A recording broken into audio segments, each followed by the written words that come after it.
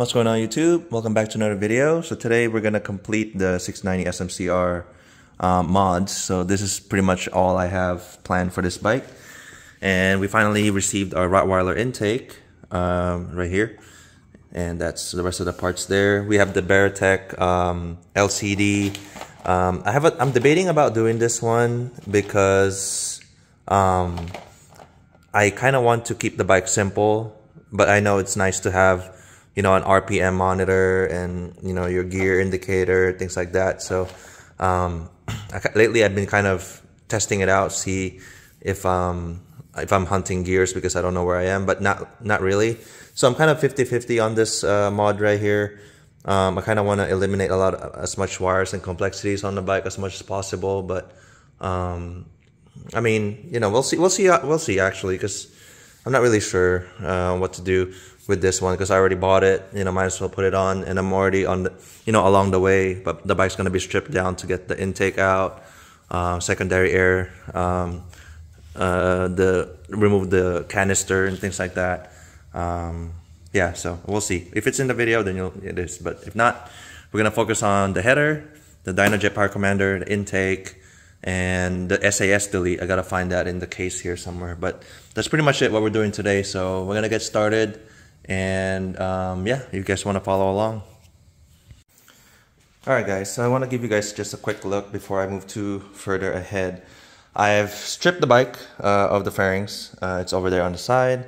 I just uh, started this um, unscrewing all the all the the bolts that's holding the the airbox. I've done this before in the previous video. If you guys searched on my, uh, I think I did a more uh, detailed walkthrough because I was doing it for the first time. But for the sake of this video, this is my second 690 701, so it's pretty much the same thing. Uh, I don't want to kind of duplicate, but I'm removing this airbox. I'm going to do the SAS delete, so it's going to be the same mods as last time. I'm working on the SAS valve here. We're going to remove the canister. Uh, we're going to trace the lines. We're going to do all that stuff, um, all that good stuff. So um, let's see what's back here. Nothing, just the yeah, so we're gonna work on that, and then um, I just want to uh, take you guys along. It's it looks a little bit different because, um, but it's the same bike, so um, it's gonna be the same parts. SAS um, block off goes there, uh, canister removed. We're gonna put the full exhaust system, so we don't need that anymore. All right. All right, guys. So I stopped working on the airbox because I because everything's like overlapping here. So I have the header um, I installed the header, removed the stock one right here, and I just noticed that um, I didn't order the O2 sensor um, block off there, but for this setup, I'm using the Dyno, Jet Power Commander. It comes with a fueling dongle, so I won't need my O2 sensor. But since I, it's in order, I'm gonna have to put this back in there to, to block off this hole. And then we're just gonna zip tie this somewhere just so that it, there's no hole there so I can still ride the bike. But that's on order. I just ordered it right now. Um, I take a little bit. So and then once it's done, I'll just unscrew it again and then um, put the plug in. But so far, everything's fitting right. Um, everything's loose right now. I'm just every, everything's trying to. I'm just trying to fit the exhaust, and then uh, we're gonna move on to the airbox. The airbox is over here. As you can see there, I already removed it. Uh, it's a pretty easy install. It's just a lot of a lot of them are overlapping because while you're working on the airbox, there's the SAS delete happening at the same time, the DynoJet is happening at the same time, and the header exhaust is happening at the same time. So um, it's a lot going on. So um, I'm gonna button this up. Just at least this one's done.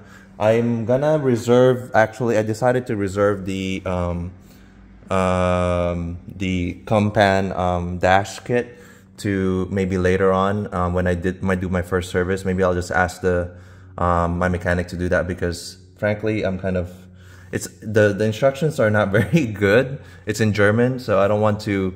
You have to splice a wire, so I don't. Um, like I said, when I keep telling this on on video, I'm not comfortable doing elect uh, electricals, so I don't want to splice the wrong wire, and because the instructions are not very clear.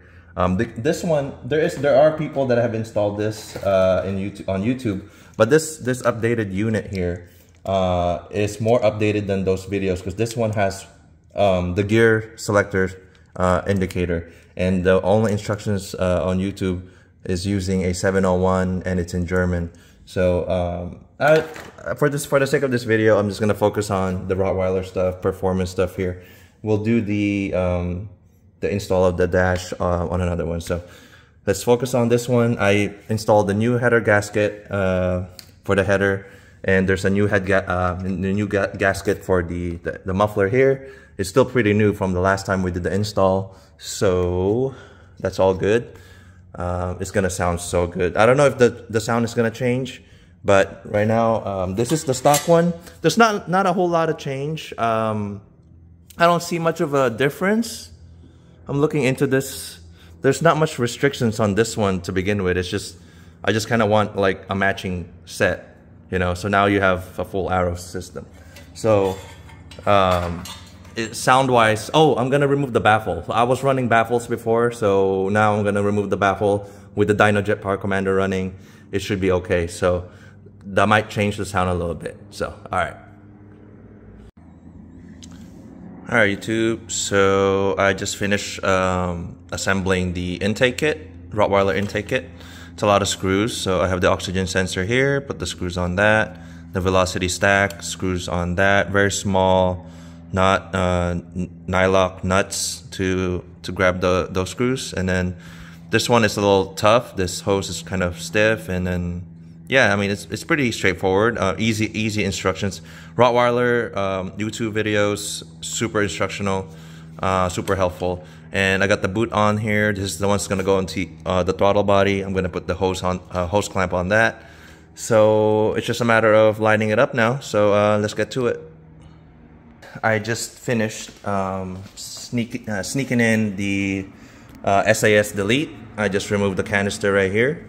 And it came with a bunch of tubes. Also the, the air um, recirculating system, the solenoid, all this stuff that's not needed on the bike anymore. This is the drain tube.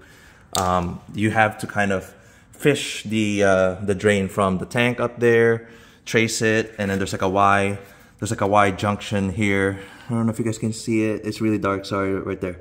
So now it, right, you can see it's now straight. So you just go straight down. It used to be a Y because the other the other route goes into the to the SAS and then goes back into the system. And then there's like a bunch of wires in between here. You see there's like a hole here now. That's where all these junk was. So now that you can, you kind of have like, so you simplified it. What what's that's kind of the purpose of the SAS, um, and you know less stuff on the bike. Right now, what I'm doing that's taking a lot of time is wire management. So, um, since we removed a lot of stuff, um, I'm, I'm also installing the, the power commander up here. I'm trying to route the wires. What takes a lot of time, and th this is super easy install, really. If you, I just remembered how I did this, and um, I was kind of getting lazy. I don't want to do it, but like now that I remember, remember um, building a computer is much more complicated than this. It's just the wire management, same as building a computer it, it just takes so long because it's up it's up to you. It's whatever you want to do. If you don't want to manage the wires, just plug everything in and it's quick. But for me, I want to know where everything goes and I, I want to know what I've done. So it's easier to see what's been changed. So I'm taking my time doing the wire management here, um, routing the DynoJet Power Commander properly around the frame, zip tying them. Um, I still have to figure out how to, you know, hide these things and secure them. Um, I got the block off plates here now. As you can see, that Rottweiler there. And then the intake is getting ready to be pushed in once um, the DynoJet is settled and wired because that's like on the top of everything. So that's that's where we're at. Um, it's a lot, like I said, it's a lot of moving pieces. It's it's three different installs: exhaust, in DynoJet, air, air, air, yeah, the the air intake. It's just you juggling it. It's hard to convey it on the video. Um, so yeah, so here we, here we are, and uh, we're moving along. So plugged in, all the coils are plugged in, in line over here, two coils, and we have the throttle position sensor here, all these pigtails. this now this part is the hard part, like I said, wire management. So we're gonna put the in, we have a lot of space here, but we can't really use it because the wires are pre-length, pre-adjusted. So we're gonna do what we can. I snugged this in um, on the throttle body. Right now the boot is in there. So just tucking in all the wire the wires. I'm not gonna do a, a um, I'm gonna start it first, but I'm gonna put everything on and then start it first. Of course, make sure everything starts before we we fine tune it, you know, and like seal it up. But um, we're pretty much actually done. It's just a matter of uh, you know making sure everything is tight and uh, all the tolerances are are are acceptable. So um, I want to start it before it gets dark, and I don't want to make it too loud. Oh, I for, almost forgot. I should I should remove this baffle now. So. All right, guys. So here it is. First start. Um, I'm gonna just spend time later on button it up, uh, checking all the wiring. But everything so far is connected, and power commander's here. I don't know where. I honestly don't know how I did that before. Fitting in in here, I, I I just I don't see a way. It's not. It's the same size as before. It's newer. Um, this is a six it's the same size. I, I might have to hide it somewhere else, somewhere maybe somewhere down there. It just doesn't fit in this area, in this uh, space right here. So I have the ECU plugged in, air filter, um, all the plugs. It's super simple. It's really, I don't think I missed anything. So the baffles out. Let's hear it. Uh, everything is good. I don't I don't hear any weird errors. All right, let's go.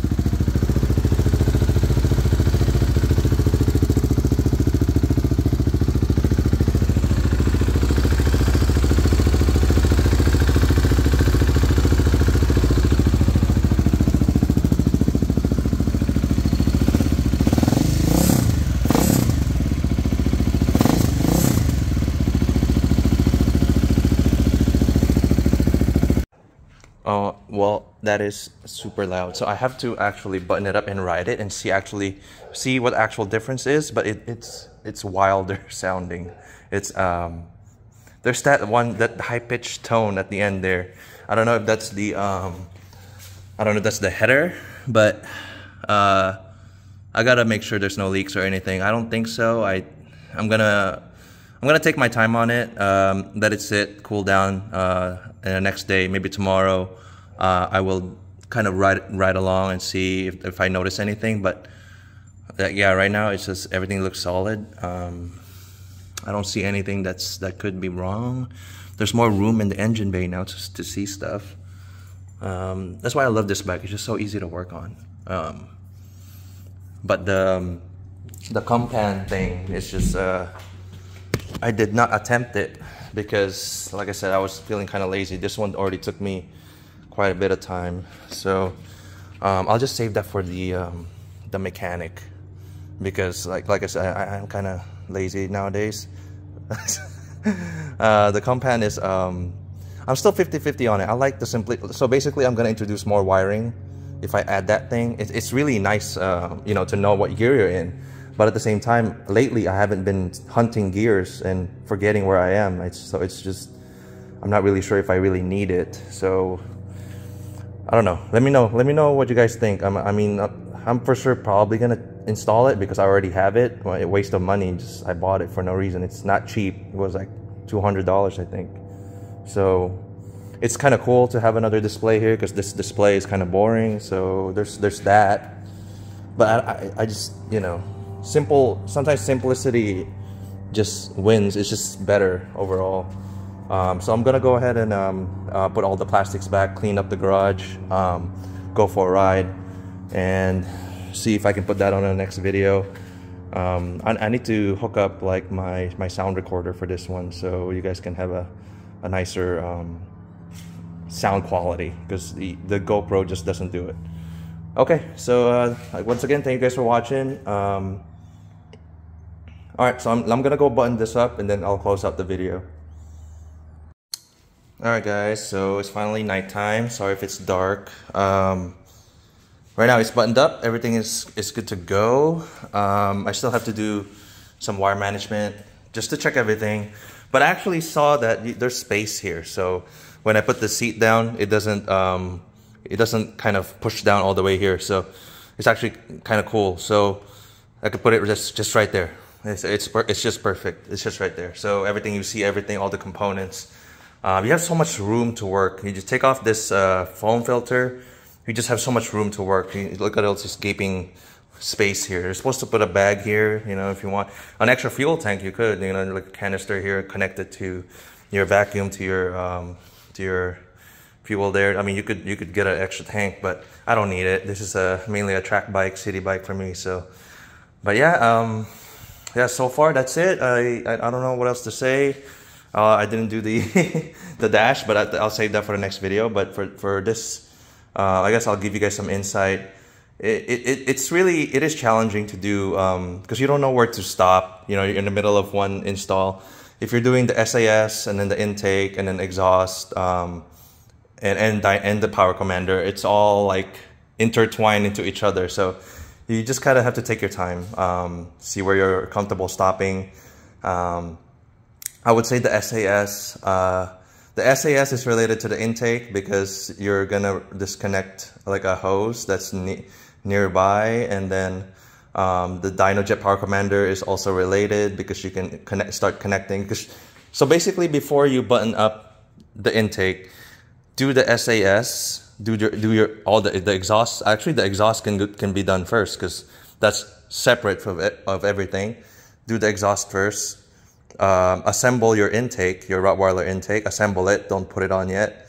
Um, do the SAS, uh, and then do the power commander, and then put this on top. So that's what I would have done because this this can easily come off and on. It's it's literally just held by um, two bolts on the side here um, this is the new seat bracket. So there used to be a plastic seat bracket here, the OEM one. Now this is where the um, the seat is um, sitting. So this is really strong. Um, and yeah, so just that's it. And then it's clamped down here um, on a on a boot, intake boot, and that's that's pretty much it. It's super simple. So I just have to kind of tidy this up. I have a lot of loose wires because I cut a lot of zip ties. Um, I'm waiting on. Uh, so I did route my the, the O2 sensor. The O2 sensor is still connected, as you can see there, just to block off the header. Um, and I, am gonna replace that as soon as I get the, the, um, the 12 millimeter block off. And I have to oil my air filter because yeah, this is, you can't, uh, dust will come, will go in here without, if you don't oil it. So that's, that's kind of the point of oiling it. Um, what else can I do? So see right now you're you have a lot of room here now. So there, this is where used to be the the SAS canister used to be right here. Now you have a Rottweiler um, a boot there, uh, Rottweiler block off plate there. Um, I, I'm not really satisfied with my the drain hose that I made. I used one of the the skinny ones. Um, the original one is a thick one. It's the same uh, hole diameter, the inner diameter, the hole is the same, but it's just the outer is is is thicker. I don't know. I mean, if that's functionality thing, but now it's slimmer in here, so it doesn't get hit by anything really. It's it's so it's that one right there.